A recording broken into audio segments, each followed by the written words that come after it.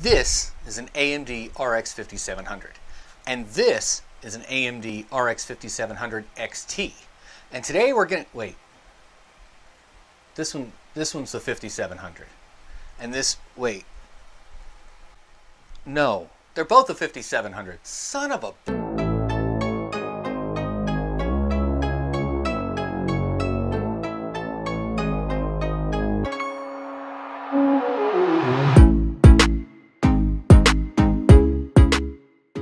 What up, Geek Squad?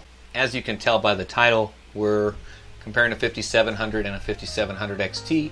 We're going to mod the BIOS, the RX 5700 post ETH merge. So this is the kind of content that you like. Hit that subscribe button for more videos like this. So here we are in this post Ethereum world. Back before the merge, Team Red Miner had a R mode that they enabled in their mining software that allowed you to run more efficiently on your cards. In addition to that, uh, people were modifying and creating custom BIOS for the RX 5700 and 5700 XT, among other cards. There were other cards that were doing that as well, but I think the 57s were most popular for it. Maybe the 570s as well. Now that we're past the merge, I'm curious to find out if modding a 5700 and utilizing R mode makes sense in 2023 and beyond. So let's jump into it. Let's dive into this here. So here we are uh, in the, the um, HODLBOTS farm and our test rig is Galvatron. So what I did was, you've seen the three cards. So I've got, I've got a PowerColor uh, Red Devil 5700 XT to compare.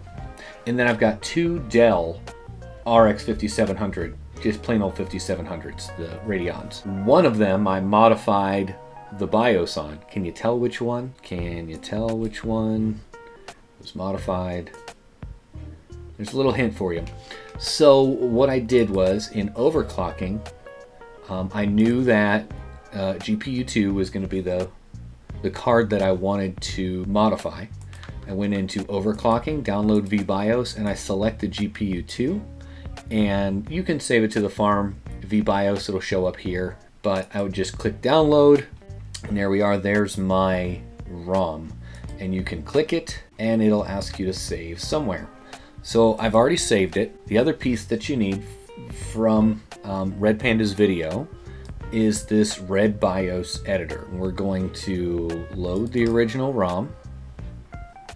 We'll come over here to VRAM timings and in the video, there's this long string of characters that you modify here and here, all the way down, from 1500 all the way down.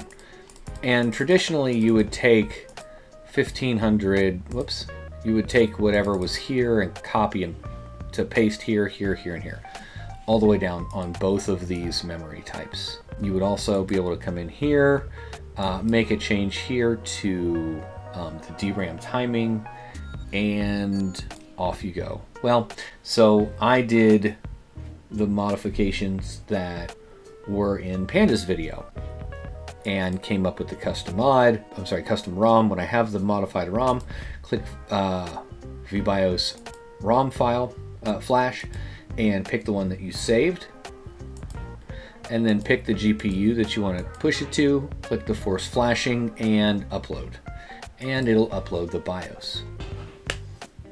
Okay, so what were the results? Spoiler alert, not good. Basically, I went through and I, I did a couple of different algorithms, some of the most popular ones. Of the algorithms that had Team Red Miner available, I went ahead and enabled R mode in Team Red Miner under the extra config arguments. Let's take a look at the results. First off, before I even get into that, looking at Galvatron here, we can see I've got no flight sheet on here. I've got the fans are just turned off so that it's not buzzing real loud in the background while I'm doing the video. And it's hot, just sitting there. It is running a lot hotter than the exact same card right next to it. The whole point of the modded BIOS, and I absolutely could have done it wrong. I modded some 570s back in the day. I say back in the day, it was like a year ago. I can follow instructions, so I'm pretty sure I did it the right way. Totally could have done it wrong, but to me, it looks like with these BIOS settings flashed to the card are making it run overly hot, unnecessarily warm. If I'm mining with a 5700 stock and a 5700 mod and it's running warmer but I'm getting 20%, 30% more hashes out of it, maybe that's worth it.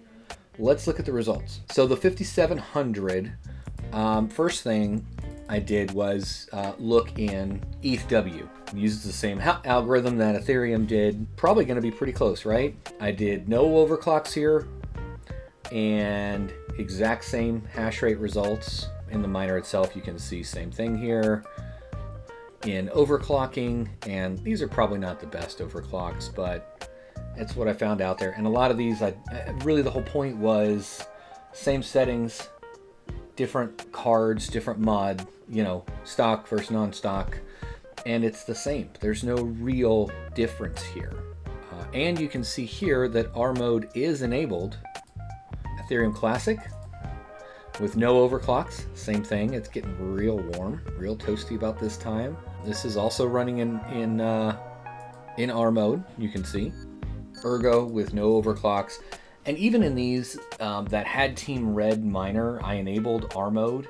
Um, and I don't think it made any difference. It didn't look like it enabled anything different, like on Ergo using Team Red Miner. It's the Autolykos algorithm. I don't think it does anything. I, it, I don't think it hurts, but uh, there's no benefit either. Um, and with the with Ergo, actually, want to thank Hobbyist Miner for a video he put out on Ergo overclocks, where to find them, things like that. Um, he had this big long spreadsheet that came in really handy here.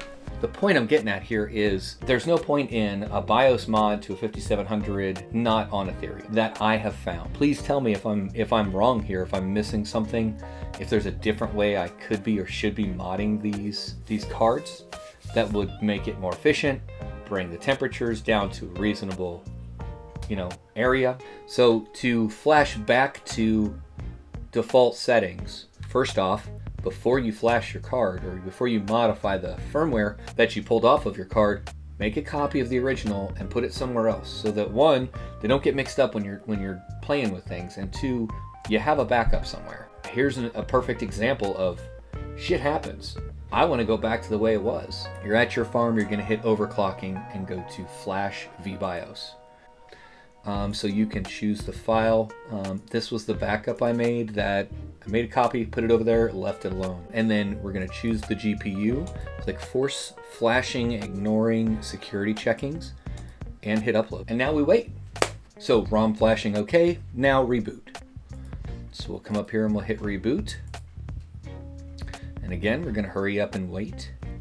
Something else I wanted to show you while I'm waiting is what I did actually took my test bench and I flipped it on its side to try and give these cards a little bit more air to breathe. Um, these two are the 5700s and then the 5700 XT. Um, but I mean, my my test bench here is normally SIG straight up with the cards, you know, on the board like they are in any any PC really. All right, so um, we have flashed it back, but it looks like it's still running pretty warm. Now, again, it may be because it is the middle card um, between these other two cards. So what did we learn today? We learned that there's no need to BIOS mod a 5700 nowadays um, outside of Ethereum mining. There's no need to use R mode or enable R mode on any additional algorithms. But the big kicker is the difference between a modded and a non-modded 5700. In my experiment here, no drastic results, which means no need to take the risk. This is the kind of content that you like. Make sure you subscribe for more videos like this. Be sure to give that thumbs up uh, a thumbs up for the YouTube algorithm. And of course, thanks for watching. Power cooler, power color, power cooler. Wish it was cooler.